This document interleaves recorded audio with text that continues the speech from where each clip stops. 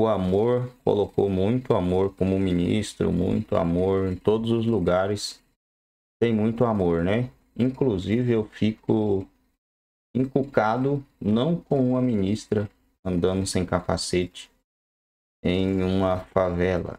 Né? Eu fico encucado dela conseguir andar de boa, sem que nada aconteça a ela.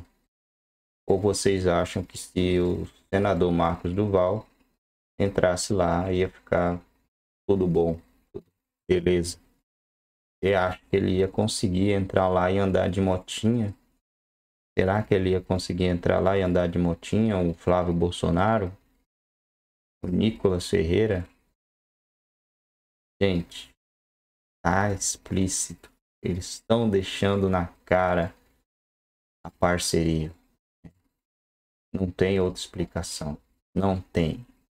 Não dá para entrar lá, gente. Um carro de Uber que entra lá assim é alvejado. E uma ministra anda lá de motinha, sem capacete. e obedece às regras, né? Ministra do governo obedece. Um ministro, isso é só no Brasil, gente. Um ministro, um ministro obedecer regras do crime organizado. Faz parte, será? A única coisa que me vem na cabeça é essa. Não é uma acusação, mas é o que parece, né? Parece. Porque é algo que não dá para eles explicar. Eles não conseguem explicar como conseguem entrar lá. Como consegue fazer isso lá, passear de boa. Porque se vai alguém que é de direita lá, e não é a favor do governo, não consegue fazer isso aqui. Jamais. Jamais.